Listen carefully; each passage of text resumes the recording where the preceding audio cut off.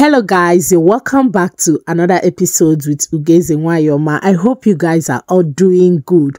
So guys, I came across this video on Korra Obidi's page and I decided to share with you guys because guys, it was so interesting to watch.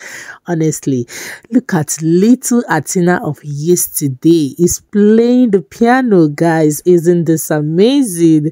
And so guys, after watching this video i decided to go to the comment section to see how people reacted to this video. And guys trust me the koreans are always the best. They came up with sweet comments that are so interesting. So i'll be reading out some of the comments for you guys to see. One person said not only because of your talent but that's you are raising two daughters who will be just amazing as you are.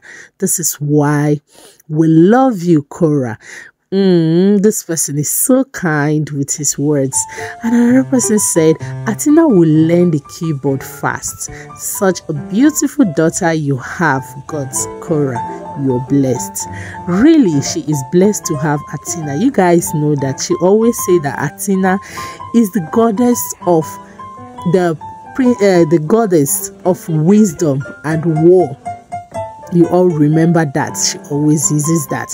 And guys you remember the other day Athena was throwing some dance steps with her mommy, and that was so amazing. I think Athena will love music so much because when Korra Obidi was pregnant for Athena, she danced so much, guys, and she released a lot of music while she was pregnant and even after she she delivered Athena she has re released so many music and I think Atina will have interest more than June.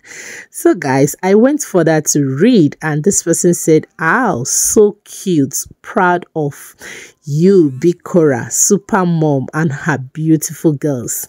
The other time Korra Obidi put out her daughters, people were like, "Korra, has the courts lifted the?"